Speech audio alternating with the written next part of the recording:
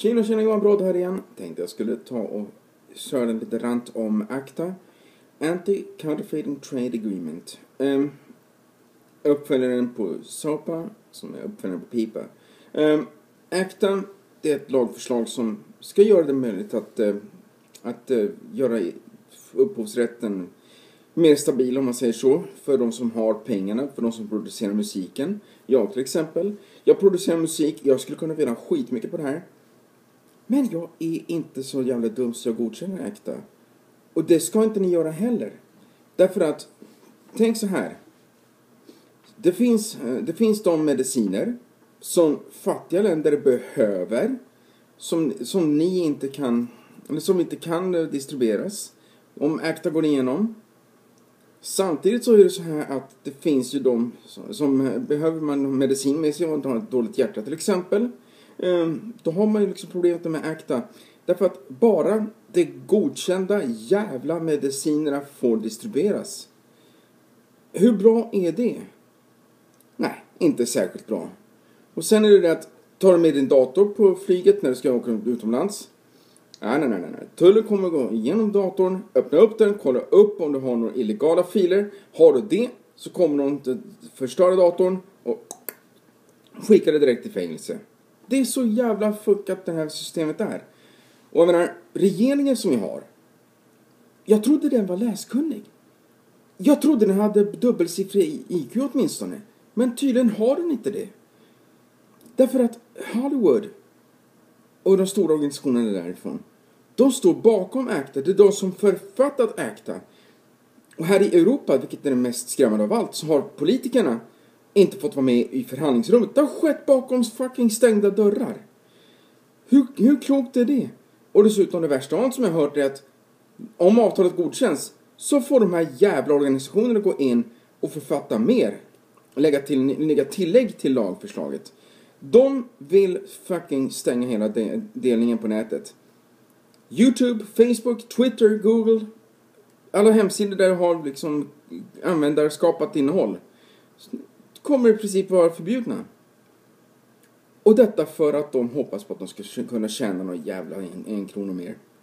Ehm, och så här är läget. Det finns ett sätt som ni faktiskt kan stoppa det här på. Och jag menar, det här går faktiskt ut till Socialdemokraterna, till Moderaterna, till hela regeringen. Jag röstade på Socialdemokraterna i förra valet. Jag röstade dock inte på Socialdemokraterna i förra EU-valet på grund av att ni drog igenom FRA. ehm, och jag kommer faktiskt jag fortsätter på den linjen. Dras ACTA igenom, er en förlust i grund och botten. Det är ni som måste tänka till nu. Vill ni behålla väljarna eller vill ni göra kooperationerna till, till lags?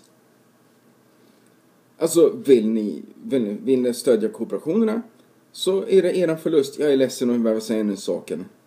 Men då har ni förlorat min röst fullständigt.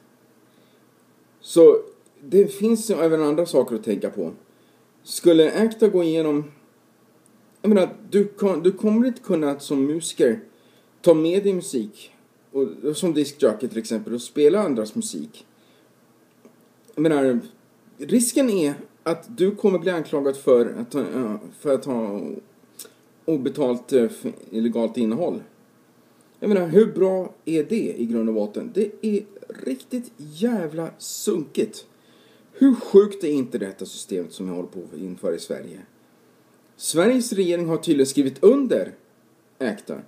Som tur väl är så har det inte godkänts av Europakommissionen. Regering där nere i Bryssel. Eh, men det är bara 5-6 månader dit tills det godkänns och då, sorry, då kommer internet vara fucked up for good. Så, det, det är det så att på avaz.org så har folk, det är över två miljoner människor som har skrivit under en namninsamling. Gör det ni med. För det, handlar, det här handlar faktiskt om dina rättigheter. Till sist vill jag bara säga så här till tidningen när Bullshit som ska starta snart. Go for it! Det är ni som, det är ni som kan styra upp den här grejen. Och jag menar, om alla människor kontaktar sina politiker berättar att de inte kommer rösta på det partiet, då tror jag att folk kan faktiskt få, sin, få det här ACTA-skitet att inte gå igenom. Jag måste be om ursäkt för att jag svär en del, men jag är uppriktigt sagt skitförbannad på, på det här lagförslaget. Det här är Johan Brodd som signar ut. Klart slut.